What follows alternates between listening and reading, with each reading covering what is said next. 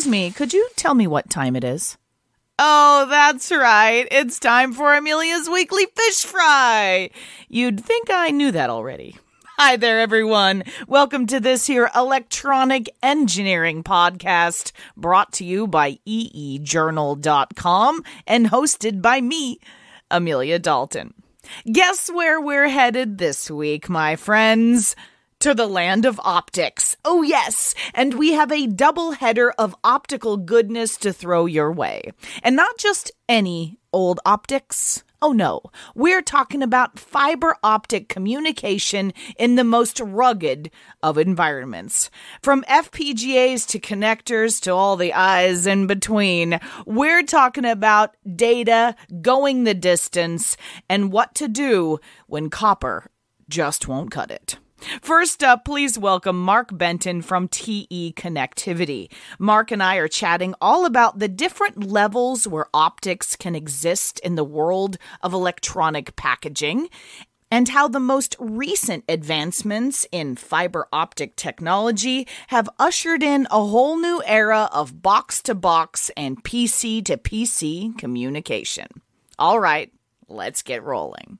My guest today is Mark Benton from TE Connectivity. Thank you so much for joining me, Mark. Hi, nice to be here. Okay, so let's talk about fiber optics. Now, most of us know about cable or internet using fiber optics, but let's talk about it in harsh environments in particular. Now, what are the benefits you're seeing there? I think, first of all, fiber optics in a harsh environment is not necessarily a new technology. It's been around for a while. And so there's really quite a bit of solid field experience that demonstrates it's rugged enough. But I think the real benefits are as the amount of uh, information and data and sensor information that's transmitted in military, avionic, just about any of those harsh environment applications continues to increase.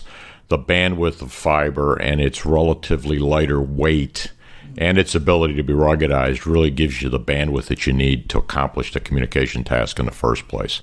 And you have distances now where you just physically can't push the signal electrically over the distances you need to do it. There are many levels where optics can exist in the world of electronic packaging, right?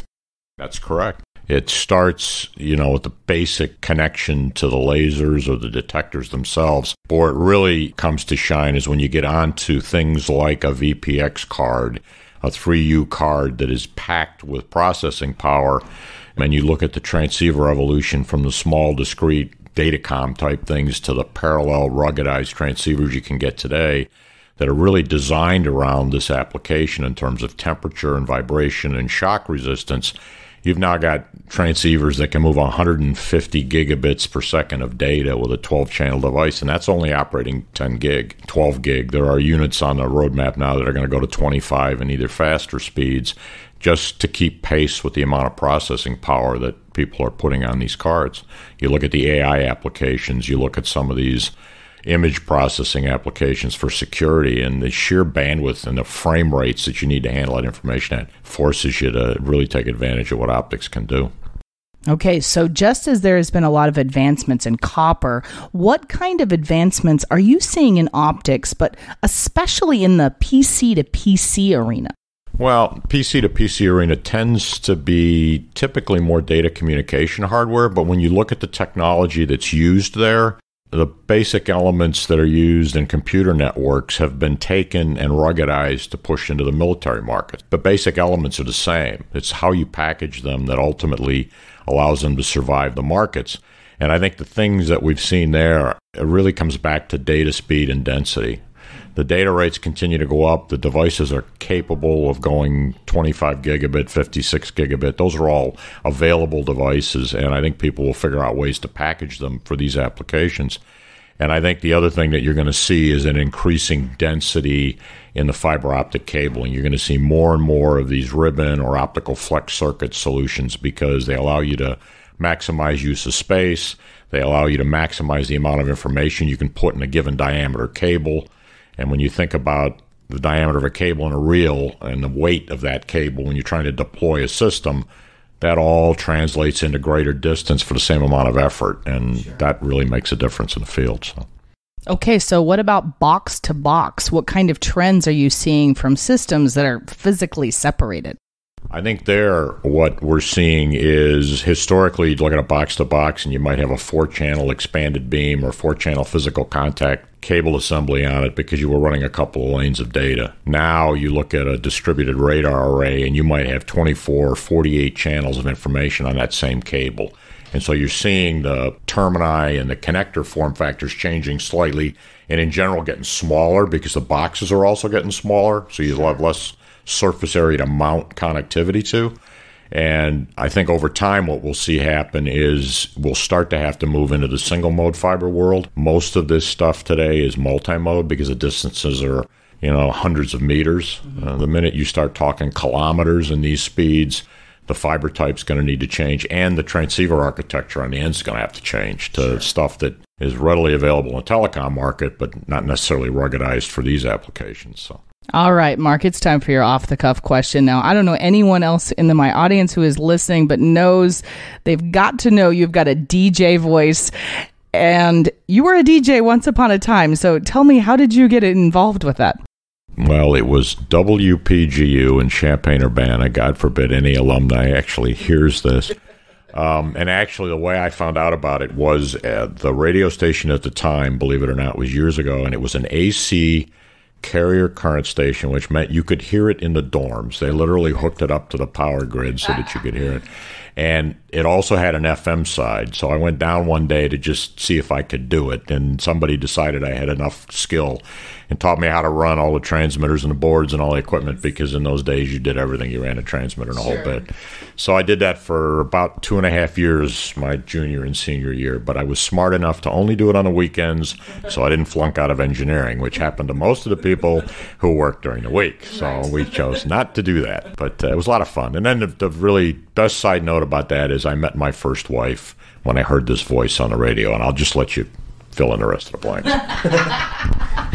That is such a great story. Well, thank you so much for joining me, Mark. It was a pleasure speaking with you. You're welcome. Great to be here.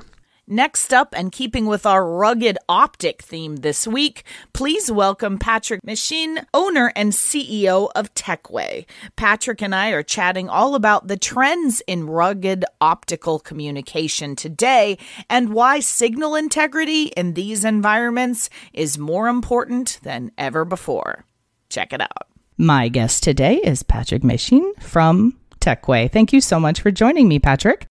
My pleasure. So I'm Patrick from Techway. Techway is a French company and we are specialized in uh, FPGA technology. We use FPGA from the beginning of our story to implement high speed data and data acquisition system.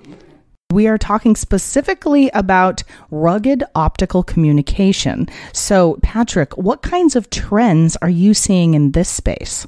High speed communication is really a big trend in our industry. And this has started long ago, almost uh, 15 years ago, when parallel buses has moved to serial buses, like the very well known PCI bus we all had in our PC and it moves to serial. And since that time, most of the popular buses and communication links have moved to serial.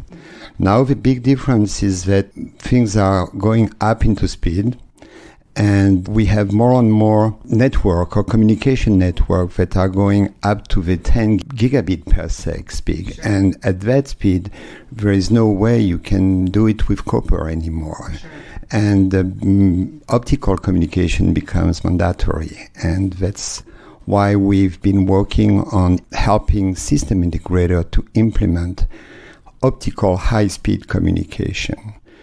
On top, we are facing a, a challenge of delivering this solution to the embedded market because the embedded market is really the one driving the technology here. These are the people, especially the military people, but also the avionic people, that has a real need for huge data that can be delivered only on high speed optical communication. All right, Patrick. So let's talk in particular about high speed data flow. Now, what particular or specific challenges are we looking at here? The technical challenges we have to deal with are related to the speed, obviously. So one is power dissipation. As you may know, the faster you go, the more power you create into electronic system, and therefore the, you need to deal with this power dissipation and how you extract it from your system. The other thing that is uh, complicated is uh, data integrity. The faster you go, the more crosstalk or this type of uh, perturbation you have on your system. And it's extremely complex to deal with, especially if you are planning to implement this optical communication into very small system where you don't have a lot of room to deploy them. And thirdly, there is an issue about the quantity of data you need to, to deal with. Today, sensors are delivering huge quantity of data, and you need to implement many links, many optical links on the same interface in order to offer system integrator bandwidth capability they want to have in order to interface with the sensors they have today. So, in a related question, Patrick, what do you think are the biggest challenges in overall rugged embedded space? Concerning optical communication or high speed communication, one of the challenge is to deal with huge quantity of data. That's a real issue. Sensors are, are delivering more and more data. You can think of uh, high resolution cameras, for instance, or phase array uh, antennas for radars. These modern devices are really delivering huge quantity of data and people are making systems, embedded system with them. They want to capture that data and therefore they need to create sort of a big highway from the sensor to their computer. And the only technology that um, can achieve that is optical communication. And then once the data is into your computer, you need to compute today's application wants to compute this huge quantity of data on a very quick way or with very big uh, real-time constraint and therefore the data needs to be dispatched all around the computer or sometimes people are using several computers and need to dispatch their data among all these computers and that's where optical communication will be also helpful to them in order to allow high bandwidth in between all these devices. Now, I'm sure you guys have some specific solutions that address these issues, right? Yes, we do. When it comes to high speed communication, you really need to rely on FPGA technology. FPGA, in fact, is the only technology that people have today that drives high speed serial links on which we will implement optical connectivity. You need also these FPGA to encode and decode the data to create protocol that will allow to transport the information on long distance. We all know the Ethernet. We all know the 10 gig Ethernet. So this is a protocol that is usually handled by the FPGA. So you need FPGAs and so you need access to the FPGA. So that's why we picked up the FMC standards. And FMC standard is a standard defined by the VITA organization. And FMC stands for FPGA Mezzanine Card. As people may know, so the FMC standard has been designed to provide interface to FPGA computers. So it's, it's sort of a normal step to use this format to implement our optical interfaces. So in short, what we do, we do FMC boards that are interfaces on which we put uh, optical devices that will allow people to have high density highways, optical highways with tens of lines getting in and tens of lines getting out of the board and um, be that way uh, able to implement the high bandwidth connectivity they need on their systems. All right, Patrick, one last question, and it's your off the cuff question. Okay, one last meal on planet Earth. What would it be? Fish. I'm going to ask you a follow up question. What kind of fish? There are a lot of different kinds of fish in the world. Well, I don't know. I'm like fish. I'm like sea, and uh, it makes me dreams of holidays. so I like fish. Any type of fish will will work out. Excellent. Well, I think that's all I have time for today. Thank you so much for joining me, Patrick. Thanks to you. And now it's time for a little news you may have missed. Design contest time. All right, let me see some hands. Yes, virtual hands will do. How many of you out there use an oscilloscope? Right? About 99% of my audience. Probably. So here's the deal Tektronix, with a little help from Farnell, Newark, Element 14, are giving a chance to win one of two fantastic prizes to celebrate the launch of a new next generation oscilloscope. And the qualifications for this contest are really quite simple. Tektronix is accepting entries from anyone who is an engineer, is currently employed or self employed, and is over the age of 18 and currently uses electronics test and measurement equipment of any brand. So, sound like you? Probably, right? So, what do you have to do? Uh, not much, actually. Submit the contest entry form, and that's it. And of course, uh, A, I've already entered, even though I probably can't win. And B, posted a link below the player on this week's Fish Frying page that will take you directly to the landing page for this contest so you can enter. And what will you get?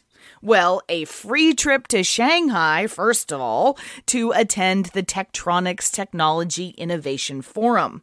Not only will you get flights to and from your airport of choice, transportation between the airport and the forum, but also accommodations for five nights, a trip to the Tektronix Test and Measurement Facility, and a special VIP guided tour of Shanghai. And that's just prize number one. If you get chosen for prize number two, you will get a brand new Tektronix oscilloscope worth $3,850. Pretty sweet, right? Okay, so you only have until May 30th to enter, and you can really only enter one time. Uh, I tried. so good luck, everyone. And if any of my audience members win, Tell Tektronix Amelia sent you. Hey, have you checked out EE Journal on social media yet? Well, you should. You can find us at facebook.com slash eejournal. If you're into Twitter, you can monitor our tweets at eejournaltfm. And if LinkedIn is more your thing, well, sure, you can follow us on LinkedIn as well. And we have a YouTube channel, keyword EE Journal. Folks, it is chock full of all kinds of super cool techie videos, including our very popular Chalk Talk webcast series hosted by yours truly. And you can subscribe to our EE Journal YouTube channel as well. And by clicking the links below the player on this week's Fish Frying page, you can grab our Fish Frying RSS feed or subscribe to Fish Fry via the iTunes Store. And remember, if you want any further information about the stories covered in today's show, just head on over to eejournal.com and look for this week's Fish Frying page. Thank you everyone for tuning in. If you know of any cool new technology, any fun EE conference coming up that I absolutely should attend, I'll see you at the Design Automation Conference in less than a month. Or even the best geeky hotspot in your city. I love that stuff. Shoot me a line at amelia at eejournal.com or post a comment on our forums on EE Journal. For the week of May 10th, 2019, I'm Amelia Dalton, and you've been fried.